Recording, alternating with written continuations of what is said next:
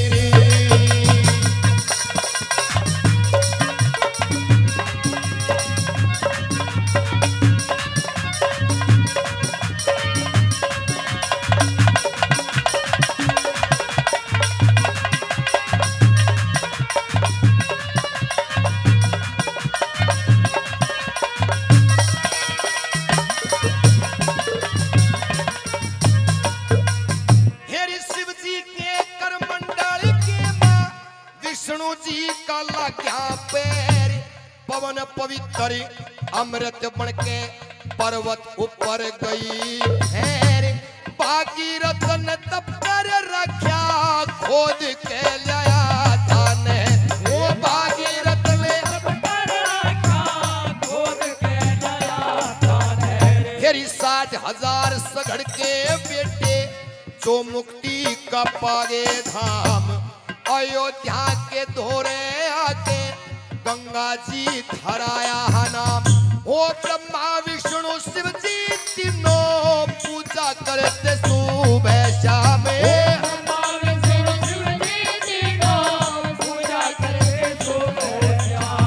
सब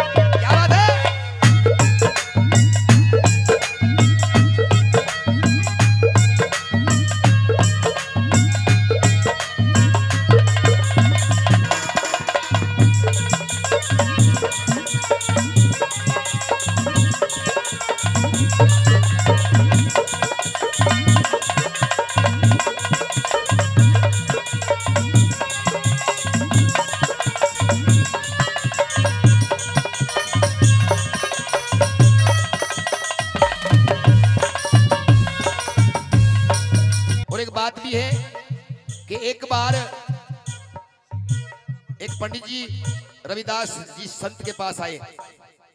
वो जूतियाँ बनाया करते थे रविदास जी। कहने लगे कि चलो भाई, गंगा जी नहाने चलते हैं। संत साहब के, भाई, मेरा मौका नहीं है जाने का। मैं तो दिन में पाँच रुपए कमाता हूँ घर में लग जाते हैं, रोज़ाना का काम है, मेरी तो ड्यूटी आई हो रही है।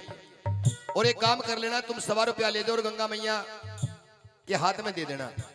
अब पंडित जी, ये दृष्टांत होते हैं, भाई, कोई बुरा ना मानने कोई मुकदमे वाली बात नहीं है, शिक्षा की बात होती है।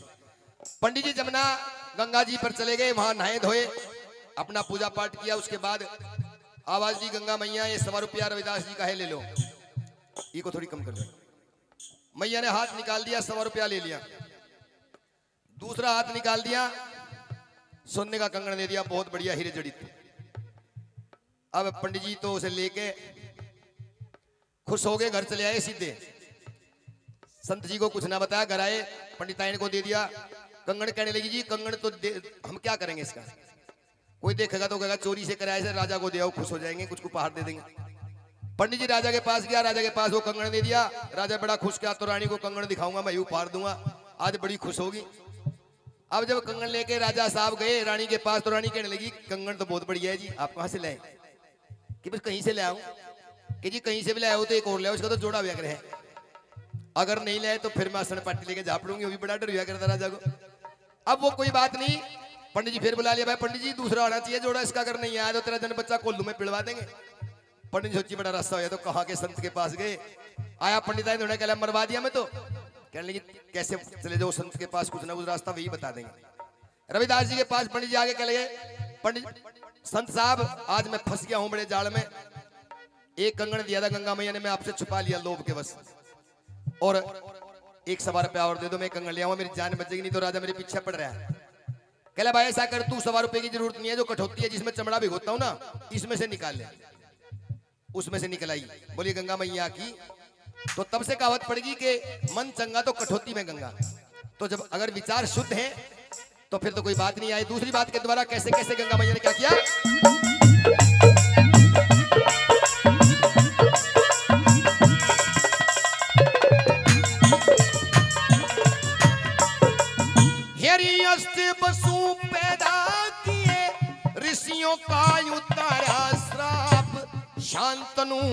के ब्याही गई वसुओं का बनाया बाप। शील गंगे छोड़ के ने सुरग में गई थी आपे।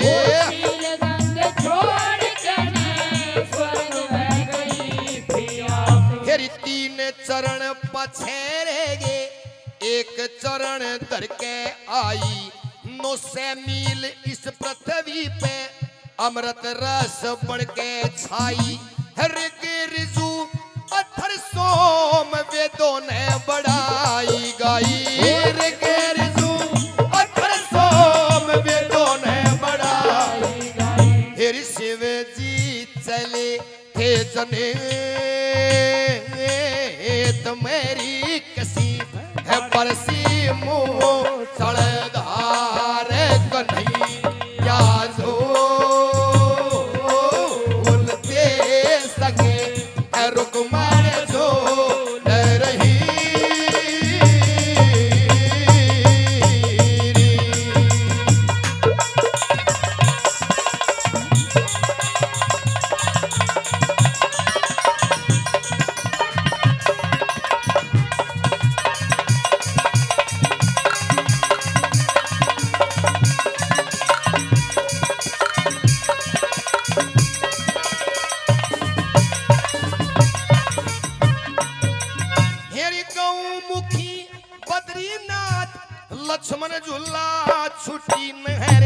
हरिद्वार ऋषिकेश हरिद्वार ऋषिकेश अमृत कैसी फुटी लहर गढ़ मुक्तेश्वर इलाहाबाद गया जो पवित्र शहर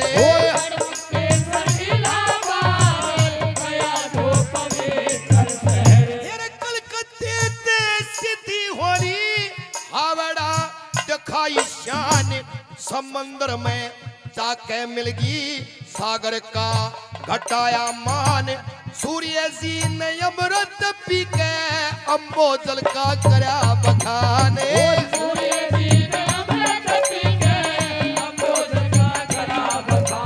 तेरी एक दिन गई थी सने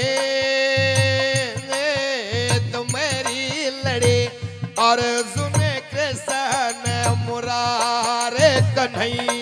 राजा सो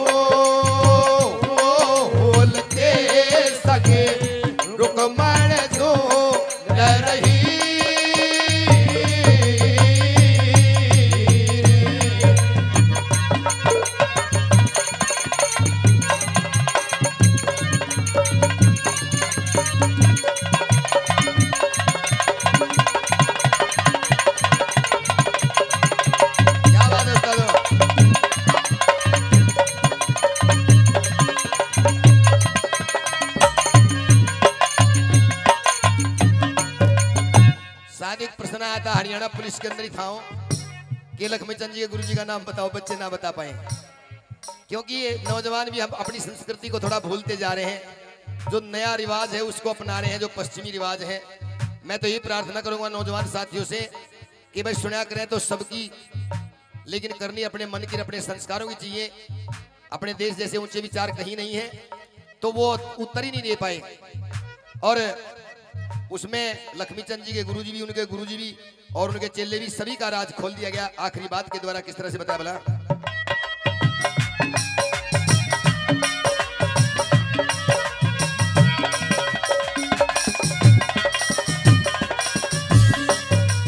श्री वसीनाथ तेरे अंदर छाण के मिले थे आप। मान सिंह भी तेरे अंदर जान के मिले थे आप। वो लक्ष्मी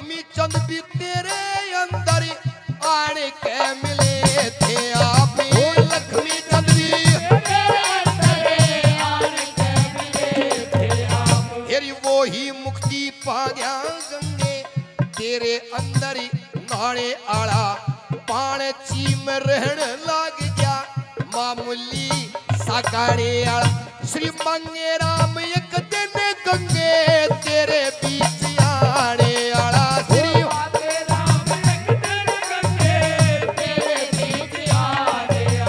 तेरी आहाड़े मिलेगा तेरे रे